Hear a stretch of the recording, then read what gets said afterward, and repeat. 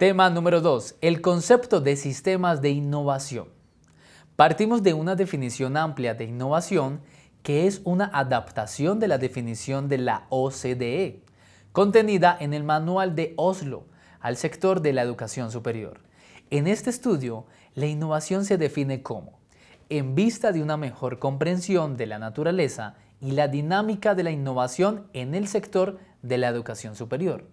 Presentamos el concepto de un sistema de innovación de educación superior como una construcción analítica que sintetiza las características clave del sector de la educación superior en un sistema de innovación.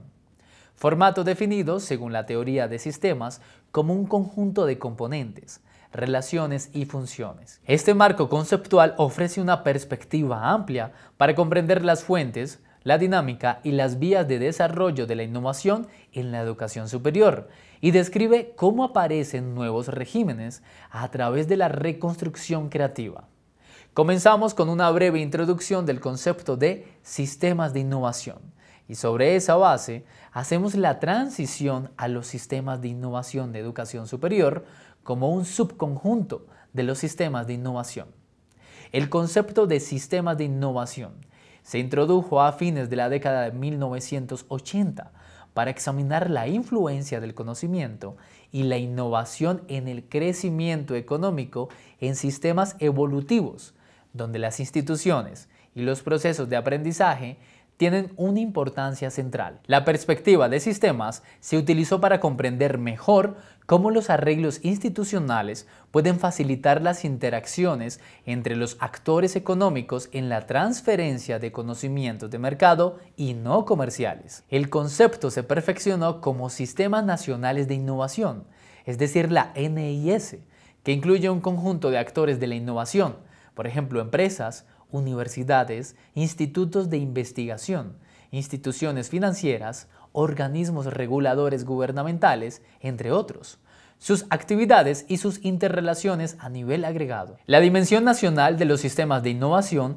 favoreció las interacciones usuario-productor a través de la proximidad cultural e institucional y el aprendizaje localizado, pero se desdibujó cada vez más debido a la internacionalización empresarial y tecnológica que extendió las capacidades tecnológicas más allá de las fronteras nacionales y la creciente integración de la innovación impulsados por los procesos económicos y políticos, por ejemplo, la consolidación de la Unión Europea.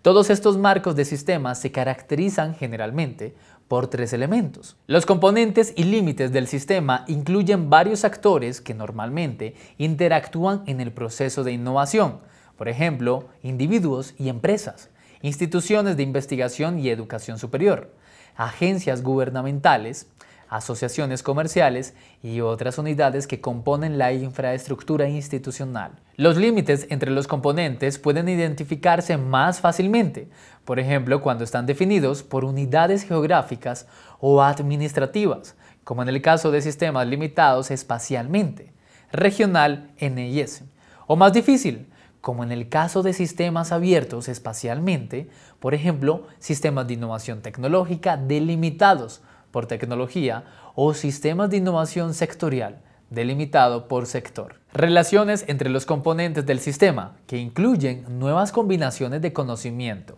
generadas por los actores de la innovación, ya sea a través de sus propios esfuerzos o utilizando la transferencia de tecnología de otros actores, siempre que tengan suficiente capacidad de absorción. La capacidad de investigación y desarrollo interna de los actores es esencial en este proceso, pero las interacciones que no son de investigación y desarrollo, es decir, las no comerciales, también son importantes.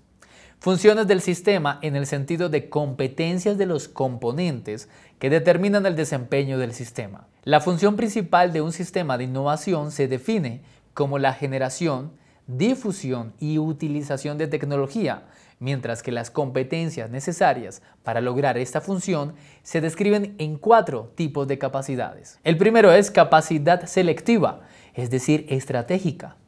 El segundo es organizacional, es decir, integradora o coordinación. El tercero, habilidad técnica o funcional.